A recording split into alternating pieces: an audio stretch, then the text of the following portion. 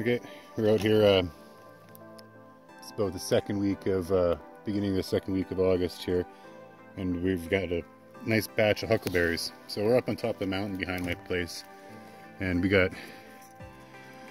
I come up here a little late. Most of them are already dried out, but uh, you know, if, if you find a spot that's northern facing, that's not too dried out, and um, maybe a little moisture along a ditch, you still get some good ones.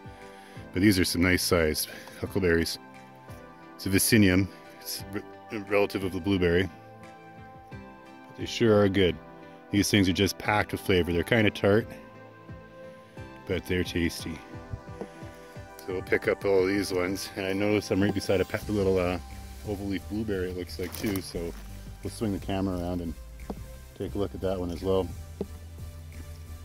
So these will make your huckleberry pies. There's another huckleberry that's red, red huckleberries. And uh, I haven't seen them around here. We have something that's called a grouseberry that grows really, really low to the ground. And it's just like a huckleberry, but uh, red. But they, I find them to be extra tart and I don't really care for them too much. But these, these ones, they're the good stuff.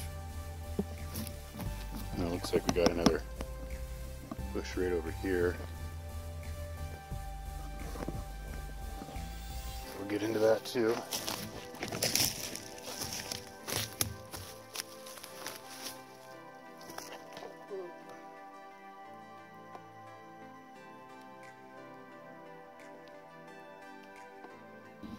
But over here is another Vaccinium.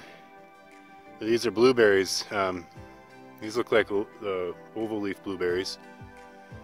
They're very similar, and but they taste sweeter. We're gonna pick some of these too. Set the tripod down here, somewhere I won't tip over maybe.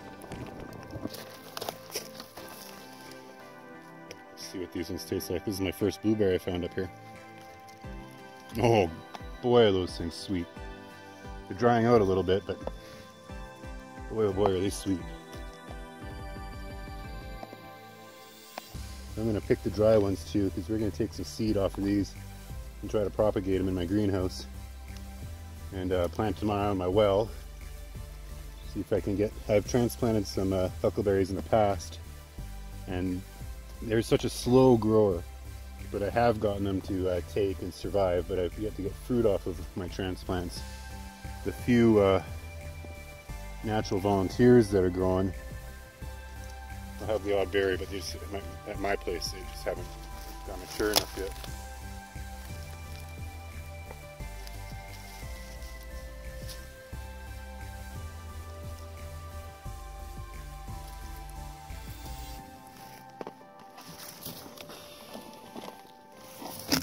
Alright, you can see the difference side by side maybe. The light blue ones are blueberries and the dark ones are huckleberries, but they're, they're both Vaccinium. So I'm going to continue along the road. There's a few spots here that looks pretty good and uh, we'll do some picking and see what I come up with. I didn't have to go far. This is a leaf of a huckleberry. Nice berries on these. Don't mind if I do. And then right beside it, right here, is a, a blueberry. Like the, they're they're growing right in together. And this area here, it's just one after another. They're all around me. So I'm going to spend some time in here. The blueberries are basically dried out, so I'm just picking them for seed now.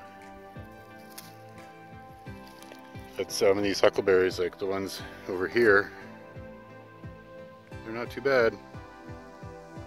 So we're just going to pick them and keep going.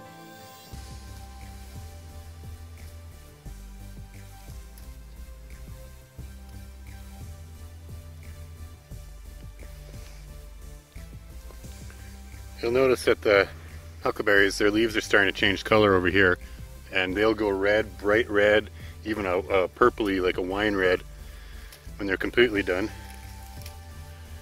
But these uh, berries are sure loaded up over here. They're medium sized, but there's lots, so better pick them too. They're starting to load up the container. This whole bush is just loaded with huckleberries, so I'm gonna keep at it and we'll see if I can find you a really red bush to look at when they when they're when they're done. I was down on the the other side of the mountain. It was really dry, and they're all red and done. All the berries are dried right up. So I'm lucky to have gone into a patch that's still fresh. But um, once I find some red bushes, we'll we'll come back and show you that, and then that should be about it.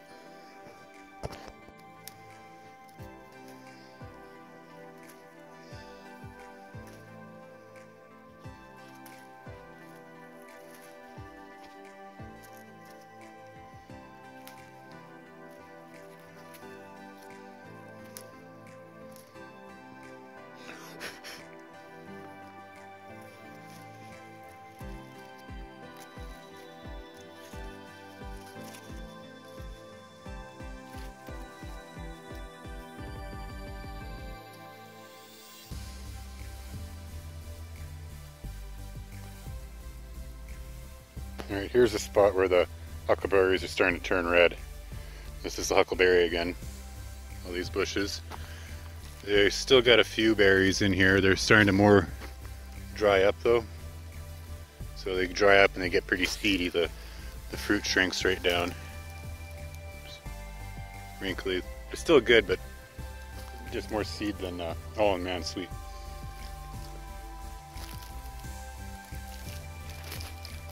Not a lot left here. I've seen there's some wolf tracks on this road and uh, the deer and the bears will get right into this. The squirrels, I've had some squirrels yelling at me to get out of their, their bush.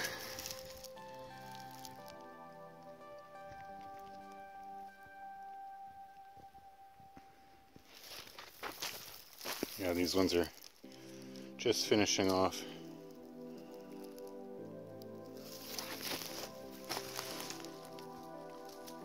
So we're not going to find many in this patch. I'm just going to keep going.